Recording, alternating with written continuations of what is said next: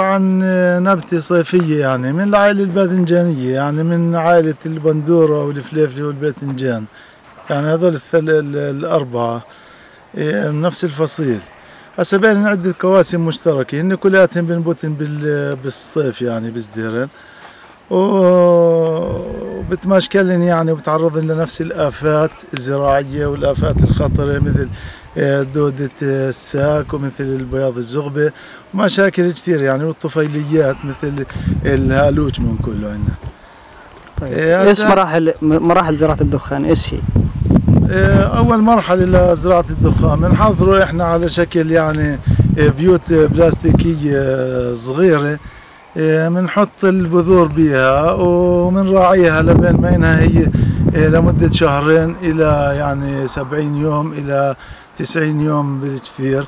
على بين هي تصير آه، تتأقلم يعني وت وتصير الدنيا الصيف يعني ويلائمها النكل إلى المزرعة يعني. هسه وقتها إحنا بنيجي بنزرعها في ال في ال في الأرض. وبتكون الأرض محضرة لزراعة الدخان. إيه بعدها إحنا بنعتني بيها من حيث الرصوص ومن حيث إيه، النتش حواليها إذا أشتت عليها الدنيا ومنعشبها من العشب الغير مرغوب فيه. وبعدها بنبدأ بعملية القطف وهذا عادة بيكون بشهر سبعة.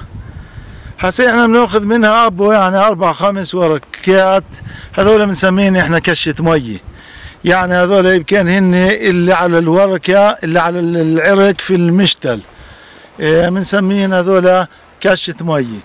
هسه بعدها بصير عندنا آه، قطفتين اللي هن فحلات. يعني اللي هن هذول أكثر إشي منتجات وبعودن على المزارع في في في المربح يعني.